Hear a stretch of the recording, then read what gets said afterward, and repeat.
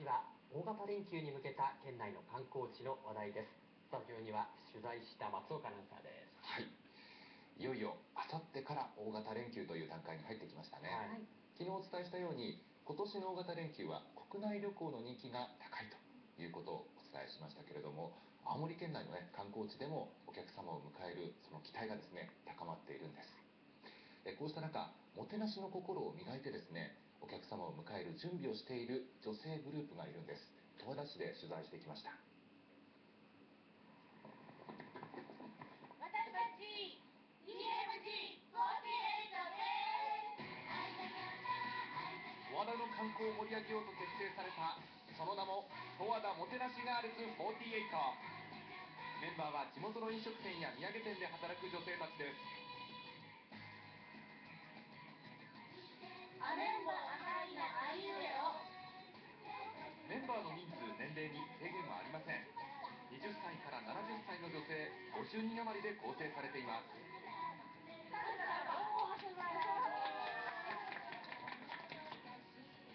中にはこんなに可愛いゆるキャラも。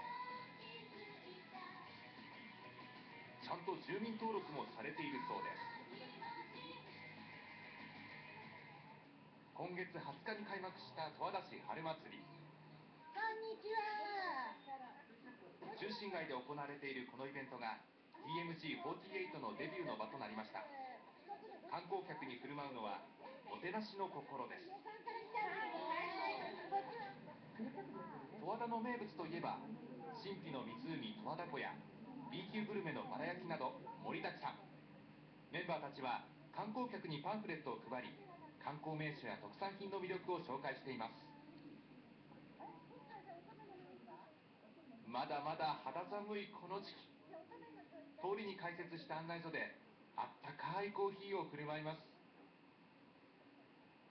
こんないいおもてなしをするなんて、よかったです。もう、桜ほど、あの、心が、ほっとしました。いいおもてなししてくれはったから。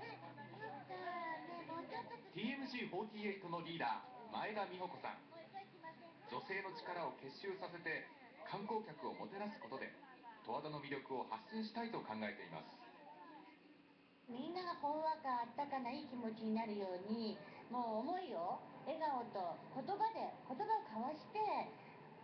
また来たくなるようなそんな場面をここで作りたいですね。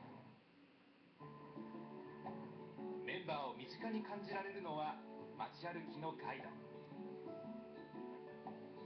官庁街の通りを私も案内してもらいました。道すがら教えてくれたのは町の歴史です。あの足元見ていただくと馬のパカパカっていう歩くねこれ。これ。これが製鉄のこれが入ってるんですよ、うん、であそこのね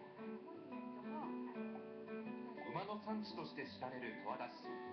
町には馬のモニュメントなどがあちこちに見られます。昔々あそこの十和田火山っていうのがこう爆発を何回も繰り返していてであの火山灰の地だったんですこの辺ずっとね。それなので作物が育たないのであの馬を小さい馬を買ってきてそれを大きくして売って生活を立てていたっていうことなので昔からこの辺は馬が産地だった。1キロ余りの区間に156本の桜が並ぶこの通り。まだ開花宣言は出ていませんがこんなものを見つけました。これがね動物桜って言って私たちね歓迎桜とも呼ぶんですけどこの花が咲くと大体1週間ぐらいで桜が大体3部5部ぐらいにはなるかなっていう目印のだいぶね桜のあの先の方もピンクになってきたのでもうそろそろだと思います、うん、メンバーたちは観光客に役立つ情報を集めてノートにまとめるなど日々のもてなしに磨きをかけています。少しずつですけど自分なりに勉強はしたんですけど十和田の町に来てよかった。十和田の人人とお話できてよかったってまたあの来年もここに来て初めて十和田に来る方と一緒にね来ていただけたらすごくいいなって、うん、思います。今日どうもありがとうございました。大型連休本番を間近に控えた TMC48 もてなしの心で十和田の観光に花を添えます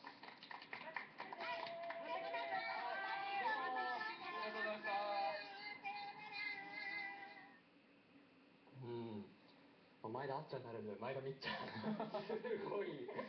ねあのパワフルな女性で皆さんを引っ張っていらっしゃるうんそうなんですよね、あの皆さんね、えーボランティアでこの仕事をね取り組みをなさってるんだそうです、あの名門もすごかったですね。自分で勉強しました。ってはい。もう気合入ってますからね。森海さんも会いたくなりました。ええちょっと会いたかったです。ね会いますよ。会いますよ。あの十和田市春祭りが現在行われてますけれども、あの十和田市の官庁通りのですね十和田市現代美術館がありますよね。その正面にあの皆さんの案内所がありますのでそちらで皆さんに会うことができます。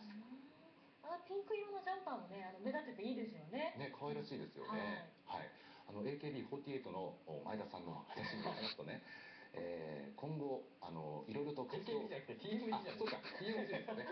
TMG48 の皆さん、ね、代表のあの前田さんのね話によると、今後はですね AKB48 に倣って総選挙を行ったりですとか、へ私もちょっと参加させてもらいましたけども握手会をしたりですとかーね、へえーそういったこともやっていきたいということでした。なるほど。またセンターポジション争奪戦が